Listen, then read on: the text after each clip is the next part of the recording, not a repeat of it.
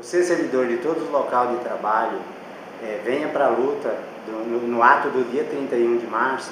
para que a gente discuta junto é, e fortaleça a nossa campanha 2021.